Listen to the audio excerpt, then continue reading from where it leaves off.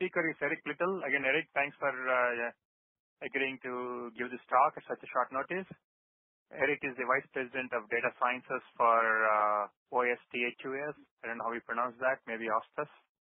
And yes. uh, the talk that Olivier has given actually is a nice segue into Eric's talk because Eric is also going to talk about uh, uh, use of uh, semantics for integration of uh, uh, various laboratory data.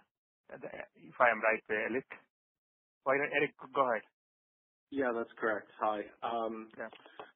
So uh, I know several of the people on the call, um, not everyone, but um, right. Uh, I I worked with some of you back when I was an academic, and uh, now I'm working for OSTHUS. OSTHUS is a, uh, German-based company in Aachen, Germany, but um, we have a development team in China we have a new development team, two development teams in India, and we now have OSTHUS Inc., which is the U.S.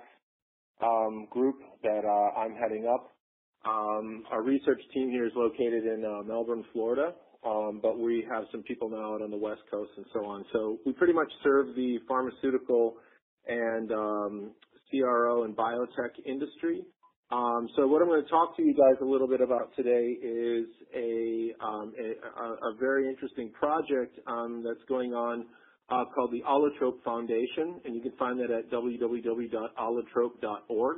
Um, I'll, I'll, put that in. I'll put that up on the chat in a second when I'm done talking. Um, the reason Allotrope is interesting is that it is a consortium is run um, and funded actually through the pharma companies. So what's the problem normally when you start these consortia? It's that nobody takes ownership, nobody actually puts any money into these things, and so there's a lot of talk in conferences and then nothing actually gets done. Um, Allotrope is different. Uh, there is an organization membership fee, so these companies pay in a fairly decent amount of money. I believe there are currently I'm thinking I I think there's somewhere between 13 and 16 allotrope members now. I'd have to count. It changes from time to time. But these include GlaxoSmithKline, Bristol Myers Squibb, um, Bayer, Eli Lilly, and a host of other ones. Um, so anyway, the, the group is growing, and the um, idea here is if you look at slide two, it's breaking us out of this current lab situation. So what happens in your average pharmaceutical laboratory is that you wind up with people, a lot of individuals whose desktops look like the top right picture. In other words, they have a ton of their information sitting in their own Excel spreadsheets. It's not searchable uh, in the enterprise. It's very rarely shareable. It's usually written down in someone's own private language, um, and it contains a lot of useful information. So what this does in the pharma industry, of course, and I don't think this is news to anyone, um, it develops data silos um, and it makes it hard to exchange information. This is exacerbated, of course, by the fact that the companies um, like Agilent and BioVia and Thermo and so on and so on Um, sell instruments to these laboratories that also run on proprietary information. So a lot of the vendors' tools don't talk to one another. So your mass spectrometer won't talk to your weighing device or your microscope. So even within a laboratory, you have multiple instruments that you can't even move the data around with. So everyone is downloading things and dumping it into Excel. Um, so you have incompatible instruments. Um, there are lots of legacy architectures that exist. So you have all of these attempts at databasing this information Perhaps some people have built some data warehouses. These tend to be brittle and rigid. Um, you have a lot of SME knowledge, therefore, that's residing in people's heads. So to get any of this done, you actually normally have to have people doing the, the querying and the heavy lifting. So a lot of what is supposed to be done by things like ontologies are actually happening by individuals. Um, the data schemas are also not explicitly understood. If you go into these companies, um, people in different groups have different data schemas that often compete. Um, and there's really a lack of a common vision then between the business units and what goes on in the sciences. So people at the uh, top levels of these companies are actually looking for um, information to make go no go decisions on drugs or to um, better understand their portfolio. And it's hard to get that information out of the labs. So real quickly to the next slide because I like to speak about things that matter for these companies as well as just the technology. Um, why does this matter for these businesses? Well, enterprise systems are increasingly becoming hybrid in their design and their natures. And what I mean by hybrid is that they're containing lots of um, different types of technology now. So uh, more and more people are looking to uh, integrate their relational systems into ontologies, but they also want to bring in social media um, data and integrate that into their ontologies. And then people are looking to do things with NoSQL and data lakes, which have nothing to do with ontologies. So you now have uh, this new wave of, of, um, of, databases springing up with things like uh, Hadoop, which is, you know, some people would say is already dead and is going to be replaced by Spark. I'm not sure if that's really true, but you get the gist. Um, these legacy data sources are really getting combined a lot with new technology. Um, so this is really what slide three is about, and it's meant to show people um, this this one uh, what I think is kind of a um, uh, provocative statement to make to people in these organizations, and it's under the third bullet point, namely that data I think is now the most valuable corporate asset that these uh, people have.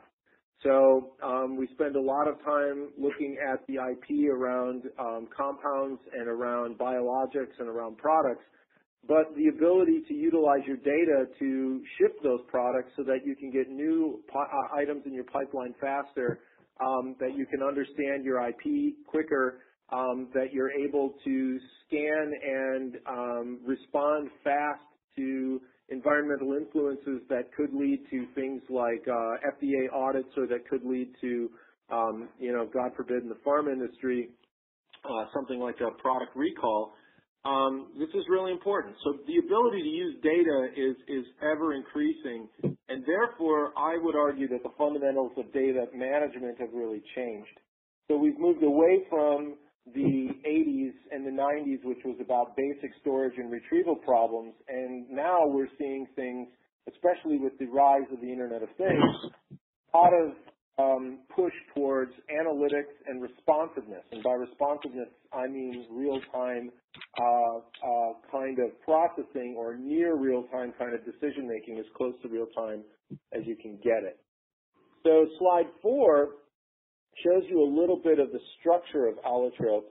And what's interesting about allotrope is that if you look at this, see that um, the common ontology top level is, is, this is a very basic breakdown just to show people that there are uh, physical objects, there are process objects, and then there are information entities. And any of those any of those of you familiar with um, the basic formal ontology and some of the work that's come out of Buffalo, Buffalo um, you'll see that this is in alignment with that kind of thinking, um, but it's a much more lightweight version. So we're not really using the full machinery of BFO because we don't need all of that massive classification.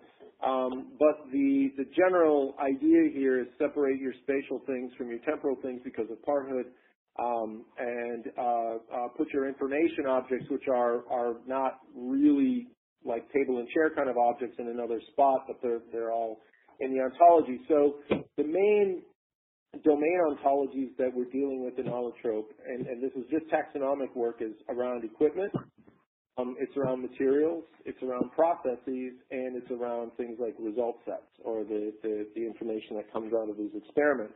And so you can see here at the um, you know the, the, the type of reading you get out of a mass spec um, that shows the, the type of raw data that scientists deal with, and we're capturing and classifying that type of information um, into these ontologies to use data laboratories.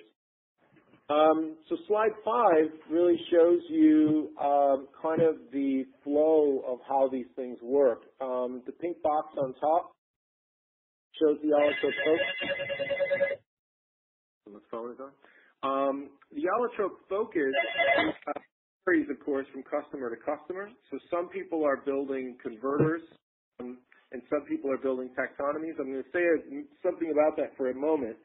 Um, in allotrope, the key here is it started with a basic question. Sorry? Hello? I'm sorry, we don't need any of your products. Bye-bye. Uh, I just want to advise people to uh, mute themselves, please. So, um, okay. Um, in allotrope, what the focus is was this question around why is it so easy to exchange music? Now, so difficult to exchange. And when we look at music, we said, okay, well, the thing that's interesting that happened in the music industry was people came up with MP3 or now MP4 files, and you were able to therefore, with any device, buy a song on Amazon or buy a song on iTunes or buy a song wherever you'd like, and you could play it on an Android phone, on an iPhone, you could play it on your desktop, your laptop, your, your tablet, your iPad, whatever. And it also came along with all of the interesting metadata around it. So you get the artist and the uh, year it was uh, created and who the songwriter was and the album artwork and so on and so on. So you get this nice metadata with it. So the goal of Allotrope was why don't we just turn data in the labs into this type of data like we have for music? So that's kind of the underlying uh, idea. So along with the taxonomies, what I want to stress here is that Allotrope is also about creating a common file format called .adf, which stands for the Allotrope Data Format. And so currently with many of the customers, we're building converters so that we can take information off of off of uh, a vendor's uh, tool set and put APIs and wrappers around it so that we can take the information in this native language that they have, this proprietary language, and turn it into an ADF file format. Um, uh, the folks at Bayer um, uh, have some very nice uh, examples of how they've done this and um, the kinds of uh, savings they've seen in their lab. So what we do is we basically start with, in this sense, the data, and we extract out terms and we look at things like, you know, instruments, drugs, whatever. Um, from the terms, we build controlled vocabularies. From the controlled vocabularies, we build taxonomies. The taxonomies can be of different kinds. Some of them are real taxonomies. In other words, they're just acyclical tree graphs that have is-a relations. Some people want taxonomies that are more like WordNet taxonomies where they're a SKOS model. It's in other words, you have a term and it says, well, I've got some broader or narrower terms related to this, so it's not really an acyclical tree graph. Um, but that doesn't matter. So taxonomy is taxonomy, however you'd like to build it. From there, we can build thesauri, where you get these things like preferred labels and synonyms. So this way, um, we give everything a preferred label, then we give uh, it a whole bunch of alternate labels. So when you're querying and searching, um, you can use any of those terms, and the semantic system is smart enough to bring back all the appropriate results. Um, we store this for the most part in RDF models, and so of course you have triples in there as graphs. Um, and there's a variety of triple stores that we use uh, to put these things in.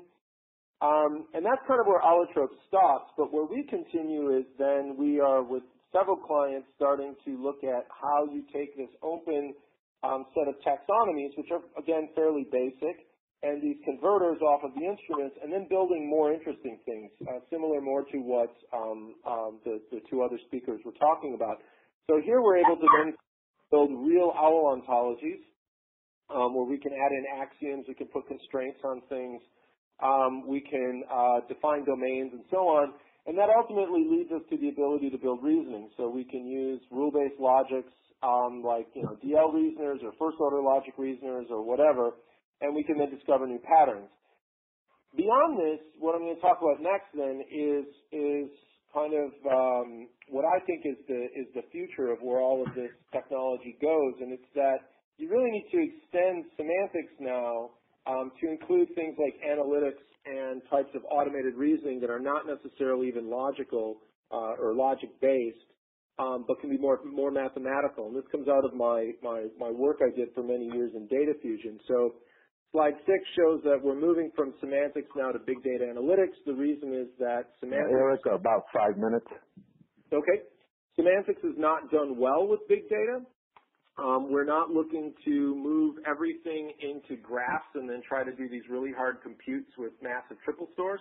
Uh, instead, we are also integrating a lot of work with uh, mathematics. So if you look at seven, slide seven, um, the reason that analytics is important is this old um, fable that Ray Kurzweil picked up, and some of you may know about this, called the the second half of the chessboard. Um, so there was a uh, there's a there's a, an old fable about um, a peasant goes to the local uh, king or emperor. Um, the emperor gives him a task and says, "I'd like you to do this for me." And for payment, he says, "Fine. I tell you what, um, put a grain of rice on, on the first square of the chess, checker, chessboard and then just multiply, double that grain of rice. Um, so one becomes two, two becomes four, four becomes eight, and so on. And so the emperor thinks, well, what a great deal. Um, I'm going to get this done pretty cheaply. Um, and so, but he realizes once he gets to the second half of the chessboard and you start doubling those large numbers, um, by the time you get to the last square, right, you wind up with 2 to the 63rd power. Um, and so you really wind up with 461 billion metric tons minus 100 tons of rice, which is uh, larger than uh, Mount Everest and about a thousand times the global production of rice in 2010. So what that means is that is that at the second half of the chessboard, you you hit this tipping point where this doubling effect um, really matters. So a lot of people were concerned with this kind of problem for many years, um, pertaining to you know Moore's law about well we have to keep doubling processor growth, but really that's not what's happened. Um, from 88 to 2003, computer processing speed only grew by about 1,000x, whereas um, during the same period, algorithm speed grew by 43,000x. So algorithms are growing at a rate of 43 to 1 in terms of how fast the processing speed is going. Um, so that tells me that the direction we're headed is not in terms of faster chips and bigger hard drives and things. Storage is almost unlimited. Um, chips are already pretty fast. What this is uh, leading to, though, is the ability to do new kinds of algorithms um, beyond just uh, semantic things. So if you go to the next slide, slide 8, here you see your common breakdown of the four V's of big data. I know some people have many more. I've seen up to nine. But really, you know, most people in big data are talking volume and velocity. On the left side, semantics is nice for adding the variety. When you have lots of different data types, you want to define these things, you want to be able to connect these things and reason across them. But the veracity piece is a real challenge because uh, ontologies don't really deal well with probabilities. And Kathy Laskey and some other people for a long time were working on this stuff. But it was, it was, I always argued that was, that was, that was laid on top of the ontologies when you start putting probabilities in. So Currently, we do stuff with graph theory, but it's not semantic graphs. It's having to do with mathematical clustering techniques where we find pockets of information statistically, and then we put these semantics on those subgraphs where they can operate much faster and you get really nice um, scalability. The last slide I've got here is basically just a rundown out of Allotrope plus the other kind of work we're doing in the pharma space.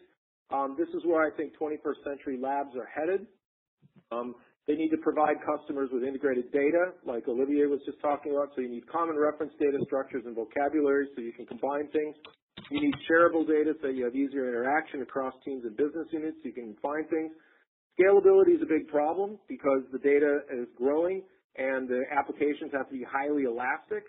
Um, you need good conceptual representation, so things like context and perspective are really important in the scientific community and you have to have advanced analytics to solve really complex and you have uh, problems, and you have to automate many of those problem-solving capabilities. So um, I'll take some questions at the end then. Thank